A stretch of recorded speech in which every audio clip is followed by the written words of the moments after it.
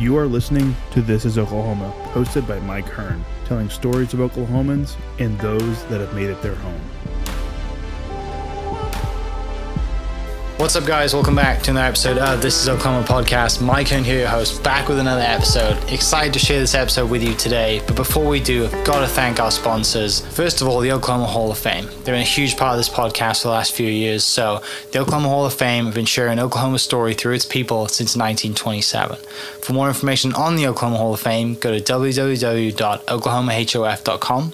And for daily updates, go to Oklahoma HOF on Instagram and give them a follow. Our other sponsor today is Chickasaw Nation. Now, the Chickasaw Nation have sponsored pretty much everything in Oklahoma. They're a huge supporter of Oklahoma. And it's an honor to have their name and their brand supporting this podcast. A huge shout out to Governor Anoatubby for supporting this podcast. It really means a lot. Our third sponsor is Diffee Ford Lincoln down in El Reno. Now, this one makes me so happy because these guys are great friends of mine, um, play a lot of golf together. I've bought my cars from them do most of my oil changes down there, have a cup of coffee, hang out down in El Reno. It's a good spot to go. And not only are they great friends, but they provide a great service. So for over 60 years, third generation family owned Oklahoma business down in El Reno. They're also in Bethany as well. So people in the Bethany area know the Diffees really well. But if you're looking for anything new, used, um, Ford, Lincoln, or whatever. I'm sure they could find anything you want. Um, check them out, diffeeford.net, and then on Instagram at diffeefordlincoln. What's up, guys? Welcome back to another episode of This is Oklahoma. Mike Hearn here, host, back with another episode down at Prairie Surf Studios today. Uh, return guest, Mr. Matt Payne on the podcast. It's good to see you again, mate. It's been a while. Yeah, man, it's good to be back. Yeah, I think Good we, put, we bumped into each other at the uh, Oklahoma City's most influential event, which was kind of funny. That Uh, was, that th- was. 250 of us in that magazine. A lot of influential people. it was so funny to be on that. I mean, it's great to be on that list, and, and it's looking flicking through that magazine. Like, there's a lot more than 250 people in the city that are movers and shakers, but it was just kind of fun to be in it. Um, and it's always fun to catch up. Like, you know, there's so many people in, in that room or in that event that like we all know. Totally. Right. Well, well, it's been cool because you know, starting Prairie Surf has been, uh, you know, Rachel and I both talk about how, um, you know, in some ways it was just kind of she and I that started this whole thing, but but really in so many ways it's been like the entire city has and really the state has like taken an active role sort of in getting us off the ground whether it's like speaking at different engagements doing all those kinds of different things and the the 405 party the most influential um, there were so many people that you know it off that were there that are influential that had offered us words of encouragement um, places to speak. They had, had advocated, that had shared our story, and really helped us kind of um, galvanize our space here uh, as as filmmakers and um, leaders in the city. So it was really really fun to get to kind of see so many of those people in one spot. Yeah, definitely. So last time we did this, uh, this is I think this this will be the third time I think we've sat down. Last time we recorded was um, Christmas of 2021, and we talked a lot about kind of like what you guys had done in education and, and like growing the workforce in Oklahoma through educating Yep. and having you know building workforce here. Um, which for people listening, I'll link that below, and you can go kind of listen to that one and Matt's previous one too. Um, catch me up. What's happened in the last two years? What's uh, it's uh, you, so you say three, but that's three. Uh, this will be the third interview with, as with Prairie Surf Matt Payne. But You're right, Let's go back four. early on Yeah, yeah, yeah. to when I w- had an office at 405 Magazine, and I was uh, shooting photographs for 405 Magazine. That 2018, that was. yeah, totally. That was kind of the first. Um, and at that time, I was making documentary films and really working kind of as a content creator in all categories in Oklahoma.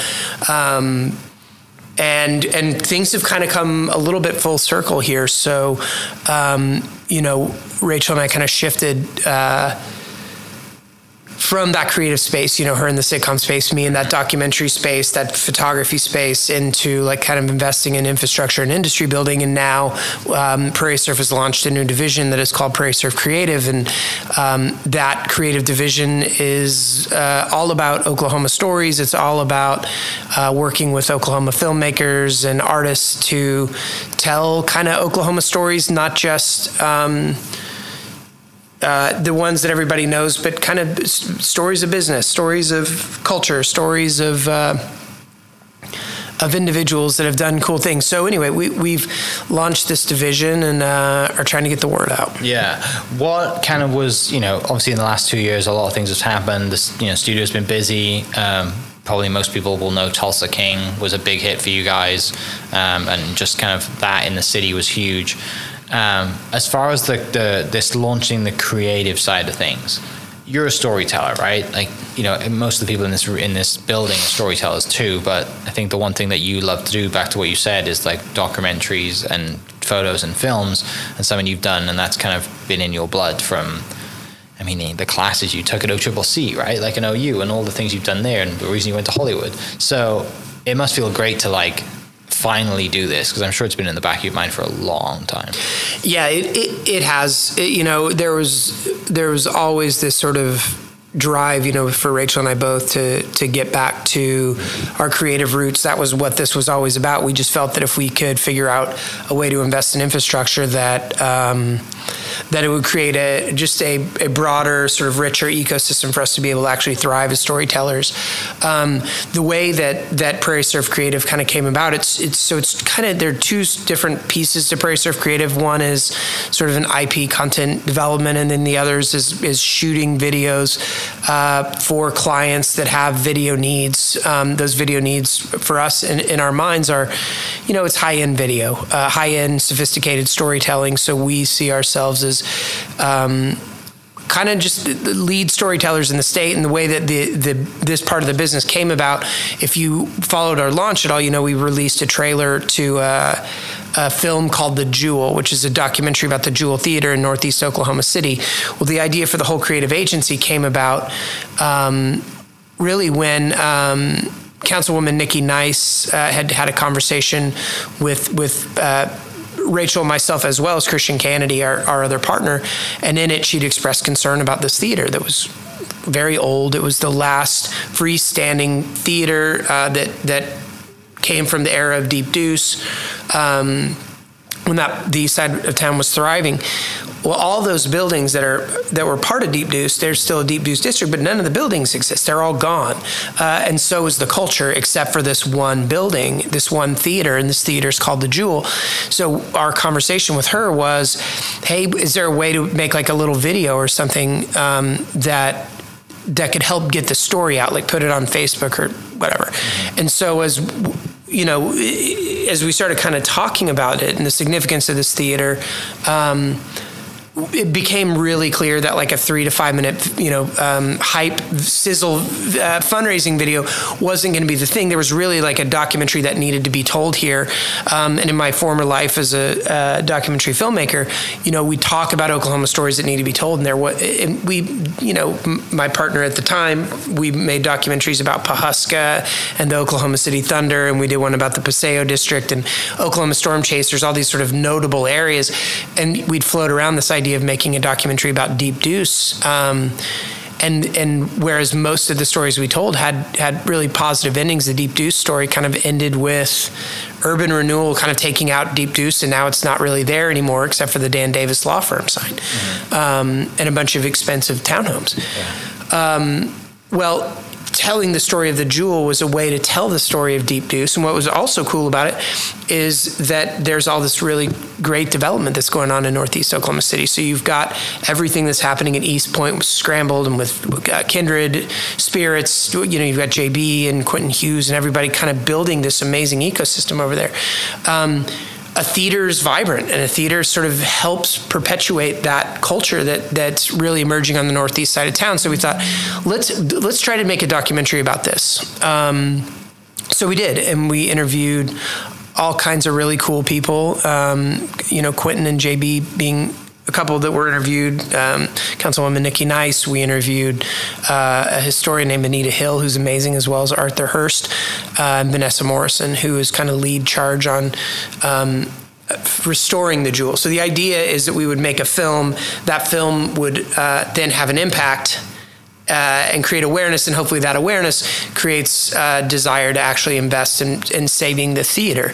Um, I think the other thing that's of note, you know, when you think about the sort of disinvestment that's happened on that side of town, particularly around 4th Street, well, I mean, you have Page Woodson, and there's a lot of development, development that's sort of beginning to happen. Um, but theaters are the backbones of communities. And if you look at the cool areas in Oklahoma City, I mean, look at 23rd Street. Think about 23rd Street before Tower Theater. It wasn't the 23rd Street we know now. Look at what um, look at Rodeo Cinema and the way that that theater set up in the Stockyard City took the Stockyards from being the place where Cattleman's was, and you could buy boots to like a place that's really cool and people want to be. Um, I think you could make the same case even for the Yale Theater. And while it's not a movie theater, it's a theater venue that has shown films. We premiered Tulsa King there. Yeah. Um, and it's brought all this attention to Southwest 25th Street. So if we, you know, we, we thought, well, gosh, if you could figure out how to save this Jewel Theater, um, you're not just saving it for the sake of history, historic preservation, but you're connecting it to a more meaningful future.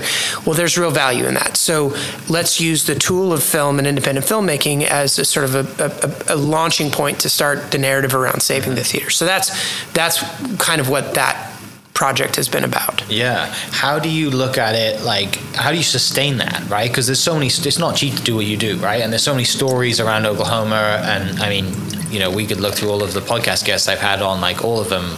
You know, there's out of 500 podcasts, there's probably 10 documentaries worth of content, content there. Like, how do you go about that as well as like, hey, you're running a business here as well?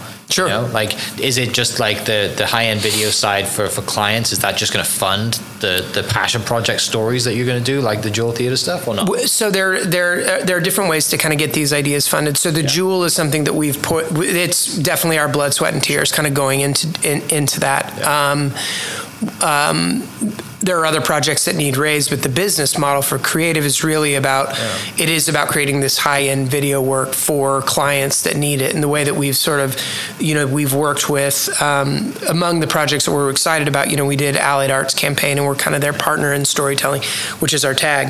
Um, we've worked, you know, 405 magazine. We did a home series you might have seen Yeah. um, that turned out really, really cool. Um, we're really excited about. Uh, we work with Price Business School at the University of Oklahoma. Um, we're uh, this last weekend we shot. Um, we're doing a lot of the storytelling for the Western Heritage Museum and Cowboy Hall of Fame, which has been really, really, really cool. So we were shooting. Um, they've got a new marketing campaign that we're kicking off. So we shot the commercials that, that will be used there, as well as some of their in-house videos. So as they're beginning to to elevate their brand, we're helping them um, by elevating the story. So what we're doing is the goal is we're creating an ecosystem where and, and we're building our team with filmmakers. So as opposed to a traditional ad agency that tends to be sort of brand first, um, graphic designers, p- people that create brands, like we're starting with story um, and working with filmmakers. And what we're doing is we're creating environments where um, not only are we bringing in you know really cool talent to help direct these things, um, but we're, we're we have an internship program where we work with all kinds of young people and we're putting those kids on these projects so that they can begin to work under kind of the best storytellers in town. So we're, we're, we're using it to sort of build a, a, a storytelling ecosystem as well. So, you know, for us, I mean, we want to work with brands. I mean, what we call our, our tag is partners in storytelling. And what we want to do is we want to find the people, the businesses, the nonprofits, the entrepreneurs, um, the institutions in the state that need elevated story, uh, storytelling to raise money, to, to, you know, launch capital campaigns, those kinds of things, hype videos, uh, and we want to make sure that they have the best product, and we approach it from a story first lens. Um, what that does is that creates an environment too, know where now we have the equipment, we have the personnel, we have the, the the minds to go. You know what? Let's run down the street and shoot an interview with somebody real quick because this could be a really cool story. Once those kind of get up and running, um, then you can go out and you can raise funds to finish those projects. So Yeah. that's kind of the way we, we're approaching it. Yeah, and like you said, you kind of build a pipeline or, or a ladder, you know, for people to come in and they're working on these projects, and then they're around these great people, and then slowly they progress in their skills and they move up, and they may- maybe they're on a movie or a series or whatever it is. Like you're, you're helping the workforce there too. Sure, like you, you know, everything in-house. Yeah, the last time you and I talked, I mean, what what what we spend a lot of time talking about were the different workforce programs that we have, and like mm. Film in Oklahoma has been really addressed through the lens of workforce at places like Oklahoma City Community College and Francis Tuttle. Um, they're looking to train workforce, but you know you've also got Gaylord uh, at OU, you've got OCU, you've got UCO.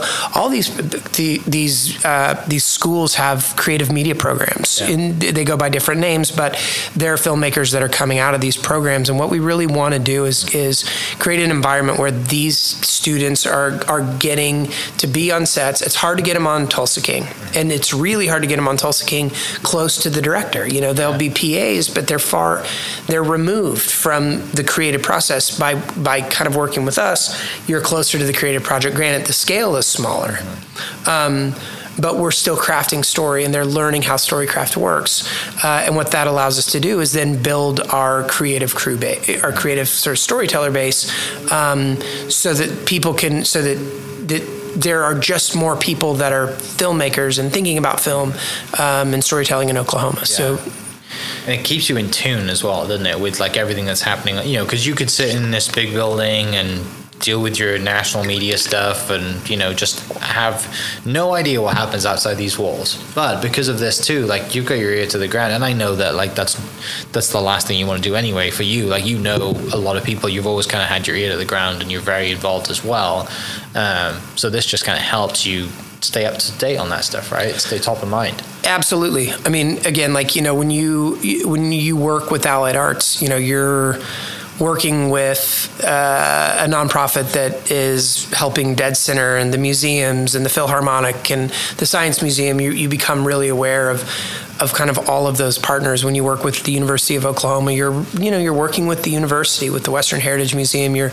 telling western stories and you have access to like you know the cool thing about the the Western Heritage Museum the, the is the treasure trove of, of sort of untapped narrative that exists in the walls of that place. Is just wild. I mean, there's there's 20 years of movies that have that, that haven't even been touched, you know, um, and they're so getting access, you know, by helping them tell their stories, we're also kind of getting exposed to some of these really really cool Oklahoma stories. And the other thing about being Prairie from the day we turned on our lights people started sending emails like they have you know their family members have really cool stories they're um, you know um, they have their own personal journeys. Like people have stories they want to tell. It's why we host writing workshops you know so that we can help people craft their stories. Um, but what we want to do is kind of help create a how can we build our business around sort of helping some of those stories get told? And so we're doing it in different ways. I mean we're uh, one of the other services we provide which um, has been really really cool is like helping you know you have all these um, you know better than anybody like there's just there's so many people that have really unbelievable stories in, it, to tell in oklahoma. They don't know how to tell them they don't know if they should write a book. They think it could be a good movie but they don't know how.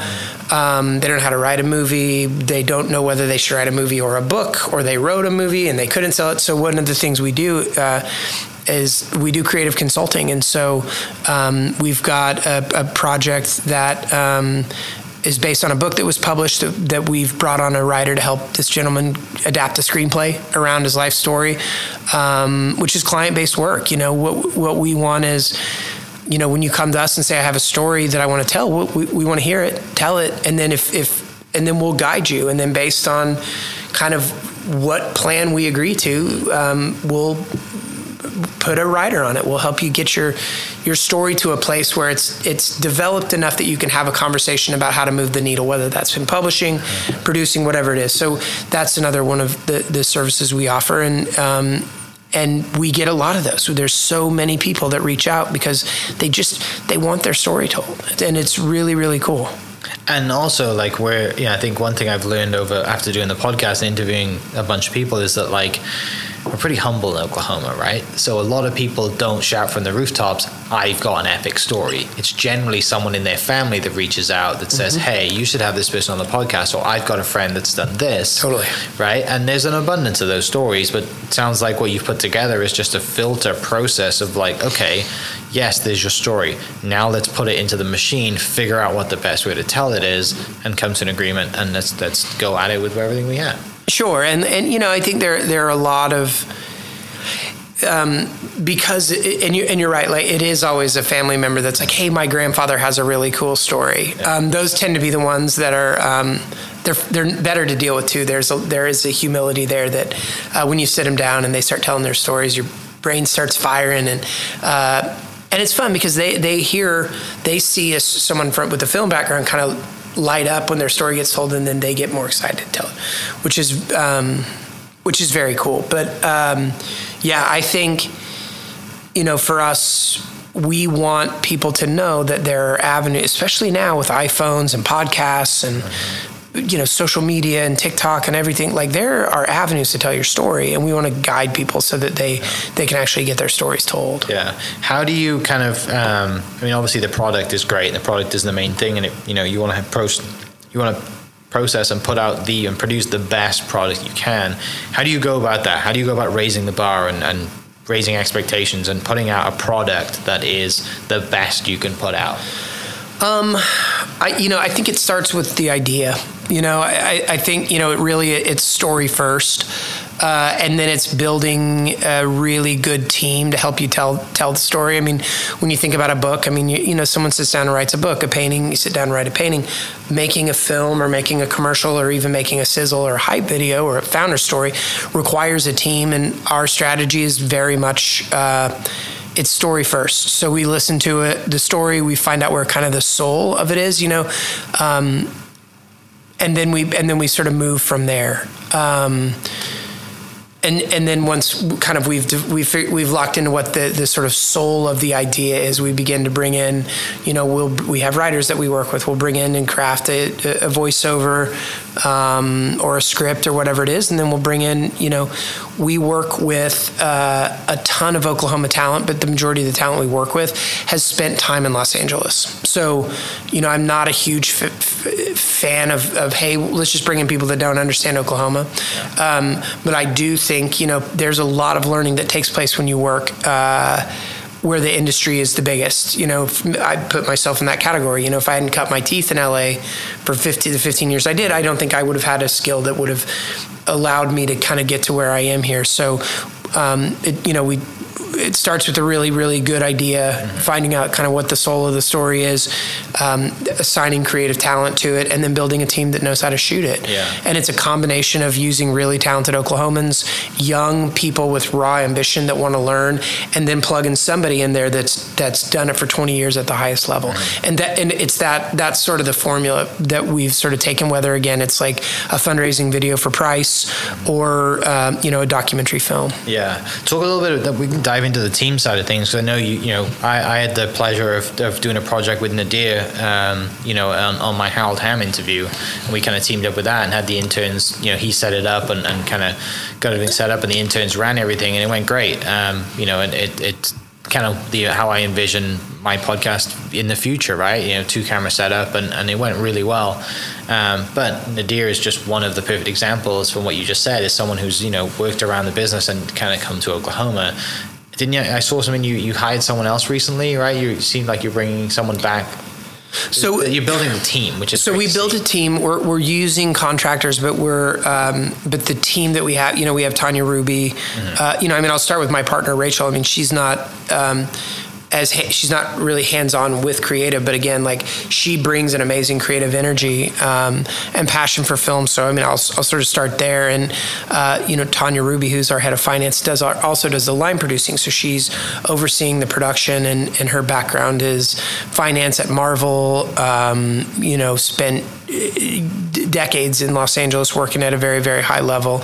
Um, Nadir comes from a brands background. Um, Nadir Tavinger is amazing. Um, so he's really bringing that b- sort of brands mentality. Mm-hmm. My background is totally narrative. And then we've got a, a team of, uh, of directors that we work with um, with varying backgrounds. Mm-hmm um, and it's cool. Yeah, I mean, it's it's it's awesome. And then we've got an intern program uh, that I think I've talked about on here before. But but we um, we work with every school. Uh, every I think we've worked with every college. We Rose State, O, o Triple C, OU, UCO, OSU, and OU, um, OBU. Uh, to we, we just we bring their media students in, we bring their theater students in, and we give them opportunities to work on this stuff. Yeah. It's it's great to see, and I think one of the, the other the other video I saw you guys were working on a documentary was uh, Clara Luper's. Yeah. Right. Like, yeah, I that saw was that fun. clip of like the circle table, and you Yeah. got Stan, uh, Colonel Stanley Evans, and, a- and a few other people around the table, and like that's a really cool scene too. Yeah, I mean that, that. So that is so that's an example. You asked earlier, kind of how how are we approaching stories? So that project.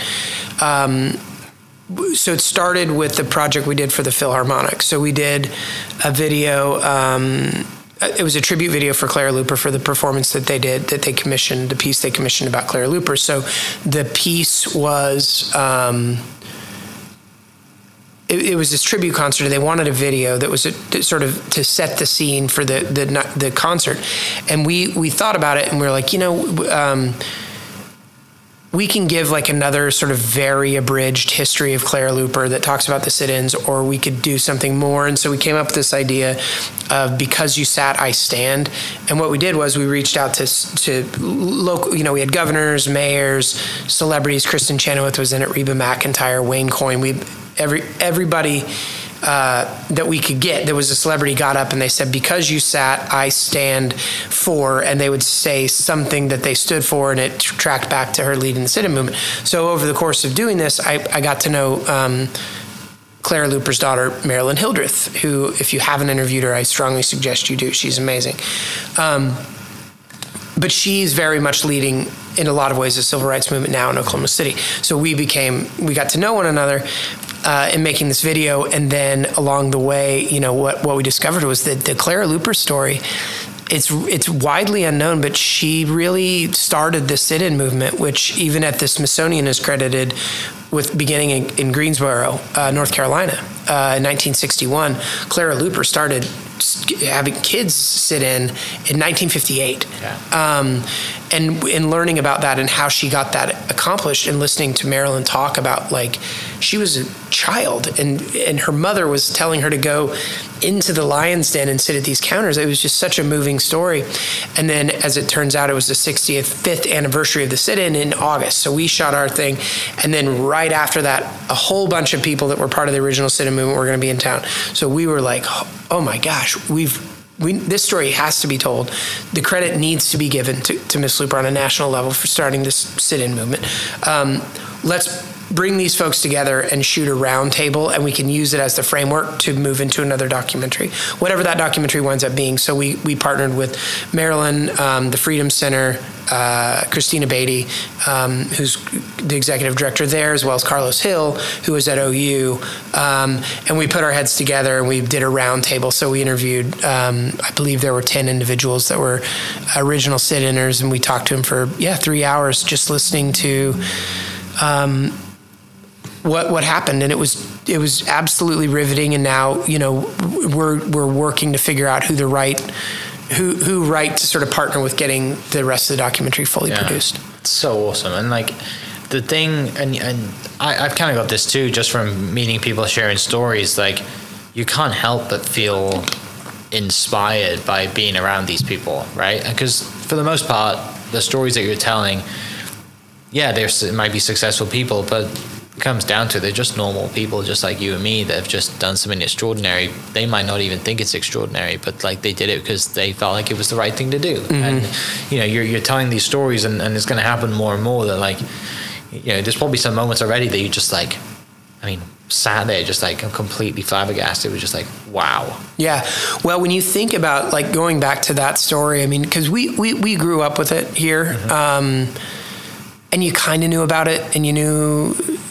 roughly who Clara Luper was, and you kind of knew what the sit-in movement was. When you think about the fact that, like, you know, the Tulsa Race Riot was in 1921, so 30 years late. I mean, there's there's still a, a, you know that is deeply impacted Yeah. the community in 1958. There's still reverberation there, but Emmett Till was a was a I believe he was 14 had been killed two years earlier. You know, and so then you know as the story goes, Clara Luper was a teacher and she had a group of students that that had written a, a play and they were going to take a bus to New York City to perform this play at the NAACP.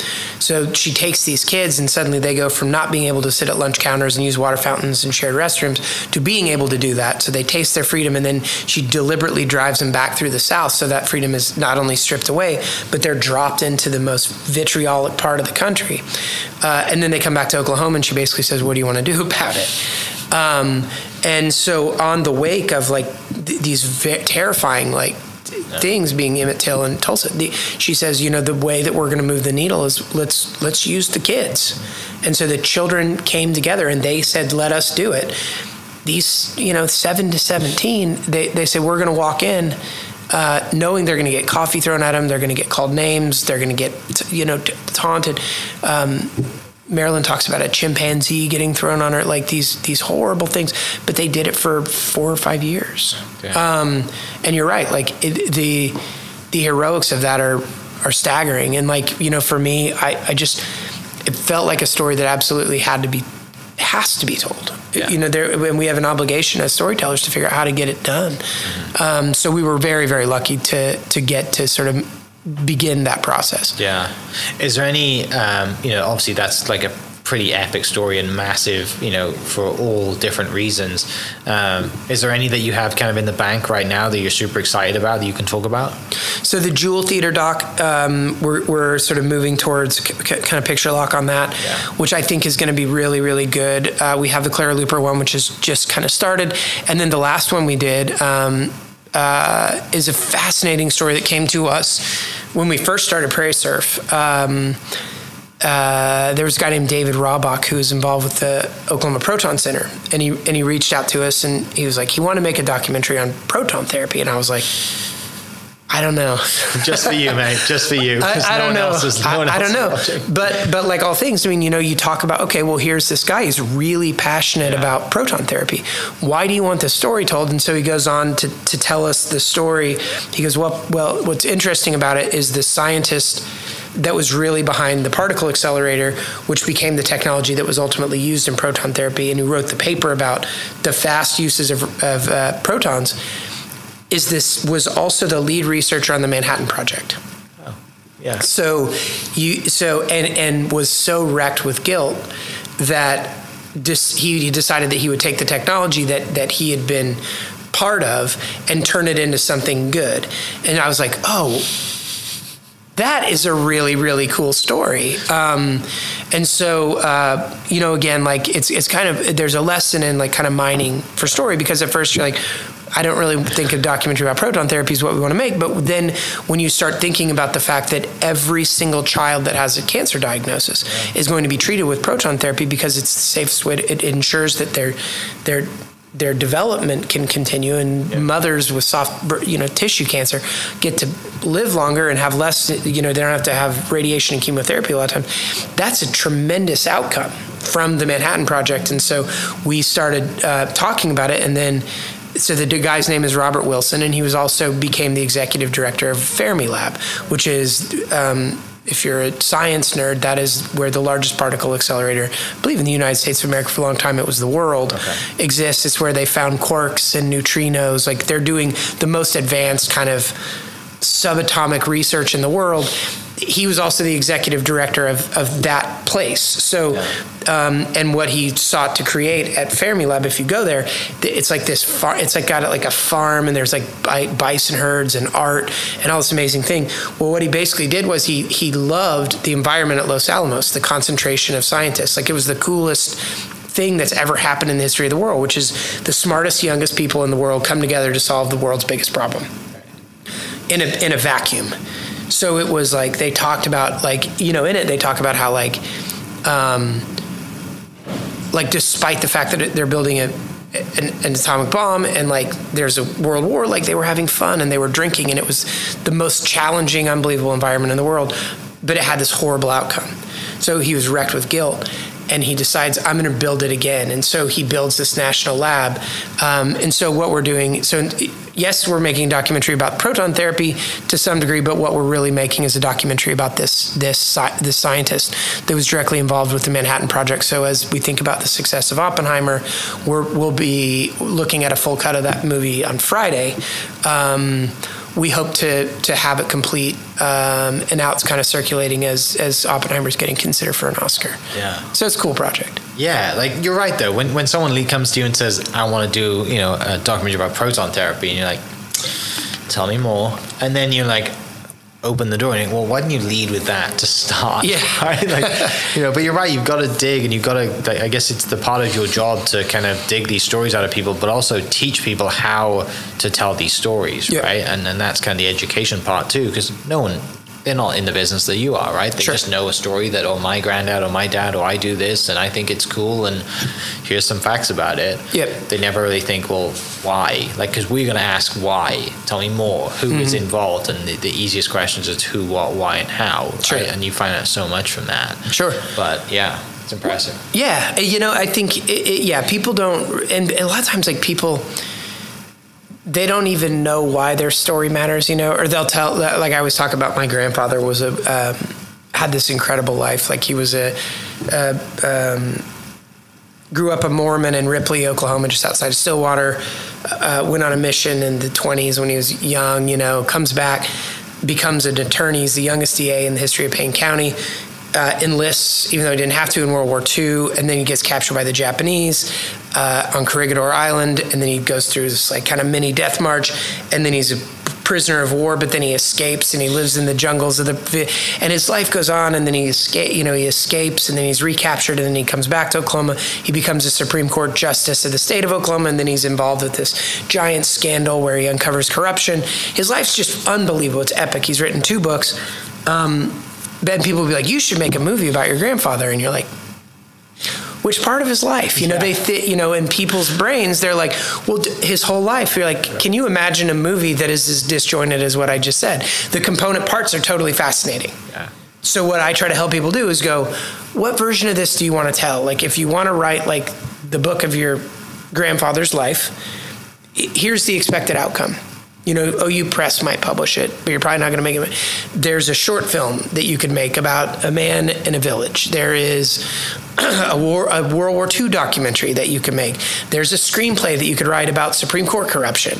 You could fictionalize it in some capacity and turn it into a an animated. There's so many things you can do, and it's fun when you get people thinking about that stuff because then they're like, oh, and then and then they get sort of hit with infinite possibilities, and you begin to shape them towards something that will have like a net positive outcome for them. Because what people want is they just they want their stories told and they want to be able they want them told but they want to share them. Mm-hmm. And so what is a digestible pragmatic cost effective way to get someone to tell their stories? And then for us what what's cool is like every once in a while somebody comes in with a story about proton therapy that you're like why don't we just turn this into a documentary? And then we do it you know? Um, so the sky's kind of the limit you know? And for us like now we just you know we we're going to continue to partner with businesses and nonprofits and, and institutions to help them to amplify their storytellers use that as a way to sort of train people up and get people thinking about story differently and then um, take all of that sort of goodwill and all those resources and begin to um, expand upon the, the Oklahoma stories we're telling. Yeah. What's like the um I mean, you know, obviously when you sat down and put this together, like what's like the look down this down the road 20, 30 years like of Prairie of Creative? Like what do you see in the future for that? Yeah, great question. I mean, i- so we, we've got this studio. Um, you know, we've got productions like Tulsa King, we've got productions like, you know, other ones that have filmed here Yeah. um, that are all pretty major. And I, uh, that's great. It's great that Hollywood wants to develop content and they want to send content here to get made. I think for me, you know, what my goal with creative is is to get to a place where we're able to develop these Oklahoma stories into like truly scripted content. So like I'll point to the Clara Luper story, you know, it's it's we can make a documentary about that. A simple documentary, but like at the root of it is really like an amazing feature film, if not a, a, a, limited series. So the idea would be like, can we get, you know, we're, we're training these young people. Like, look at Sterling Harjo. I mean, he's the most amazing guy in Oklahoma film. There, there are more Sterling Harjos out there. Um, can we find them? Can we help develop them so that in you know three to five years, instead of having to like cross our fingers that you know Paramount or whomever like has a project that fits into Oklahoma, it's that we have this unbelievable Oklahoma talent that people are investing in, and then that talent is filming in our stage. That's that's where we want to get. Gotcha. Um, and the way that you do that is like you've got to get people to work. You've got to train people to tell stories effectively, and you've got to bring people back that know how to do it well. And so, Yeah. um, as much as it is about building a, another division of our business, it's about building a more creative ecosystem, an even more creative ecosystem. Yeah. Because there are some brilliant filmmakers in Oklahoma that are about to have huge moments. You know, it's exciting. Oh, it's super exciting. And, you know, like you've already got the roadmap ready to go. You've already got the infrastructure. It's just kind of putting the pieces together and finding the stories. And thankfully, the stories are coming to you. So it's more about sifting through the stories and finding the ones that you really want to work on. And, you know, you're, you're always going to have a back catalog of, okay, we don't have anything. Let's go to the catalog and see what we have, the stories we have in the bank. And, okay, let's go pick this one and go do Sure. this one, right? So that's the great thing. Um, on a more personal level, I know you don't get out to take photos like you used to, but you have been taking more photos. I think recently you've been tagging me Yeah. photos recently. So, what's that been like to just get out and shoot and just kind of be free for thirty minutes a day, maybe? Uh, good, good question. Um, yeah, I mean, at the end of the day, you know, I think if I could make millions of dollars uh, being just a, a nature photographer, I would do it. Yeah. um, if I did, yeah, if I didn't feel compelled to, to do so many other things, I, I love taking pictures, but. Um, yeah, man, I got out. So when we had that gi- those giant storms the other night, I did. I, um, that huge cloud that everyone that took a photo cloud of. that looked like a nuclear bomb. yeah. Um, Looked like Independence Day. yeah, so I, I lived on a farm, and if you follow me at Matt Payne Travel Photography, um, you probably see my work. If you follow This Is Oklahoma, you've for sure seen it. Um, but I was on a farm, so I took pictures every single day of my life, and I didn't. My life wasn't quite as stressful when I lived on the farm, so I had a, a just a bit more free time to sort of indulge uh, creative uh, endeavors. Um, but I moved. We moved to the city, and but I and I I live right down the street from Lake Hefner. What I've discovered is, if I, if I pay attention to the clouds and I get in my car, I can get to Hefner to take a cool sunset. So I'm always kind of watching the sky uh, and the clouds, and um, if there's an opportunity to take a picture. Um, I get out and do it, but man, I miss. I I, I really do miss um, taking photos. It's just such a it's a powerful thing, and uh, you know we live in such a Oklahoma's so it's so much fun to photograph. Yeah, everything's different. Every Yeah. day is different, right? Yeah, it's different. I mean, I always talk about you know I you, again like thinking about Prairie Surf Creative, like going back to for me, you know, when I lived in LA, like. You know, you, you have the ocean. There's nat, there are multiple national parks within you know five six hour drives. Um, it's it's you know there's Joshua Tree and Santa Barbara and the Channel Islands. It's just it's a beautiful place, and there's lots of creativity there. But I, for whatever reason, when I was in California, there just wasn't there was so much of it you just didn't even kind of clock it.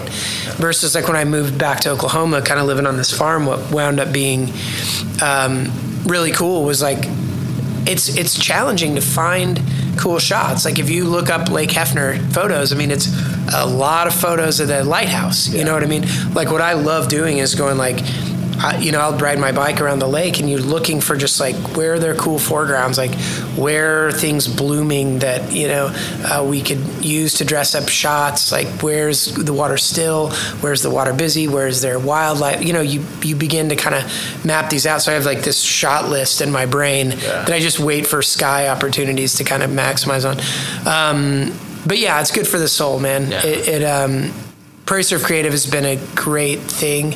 Um, just in terms of returning to creativity, we're still running a business. You know, Yeah. you're still worried about getting this up and running and being successful and making sure that people aware are aware of what we do and what we offer and um, being able to get out and take a picture every now and again means a lot. And I love it when people uh, engage. You know, it's cool to see like how Right. um, excited people get when you get to share something beautiful about Oklahoma. People just go nuts over it. So Yeah. it's been fun. Yeah, definitely. Well, let's bring this one home. Uh, people listening, if, if someone is listening to this and thinks my parents or my granddad or my aunt or whatever has an amazing story, how do they reach out? What's the practical stuff people can do to get in touch and, and maybe start the uh, conversation?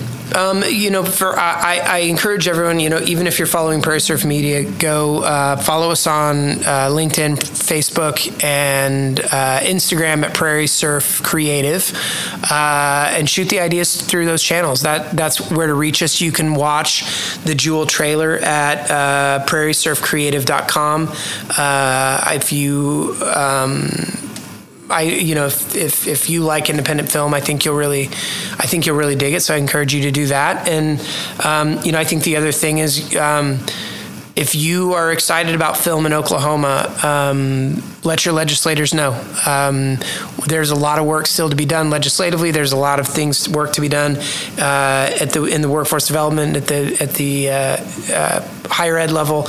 Um, let leadership know that this is an industry that you care about, um, that you want to work in. You have stories you want to be told. Be vocal about the fact that this industry matters.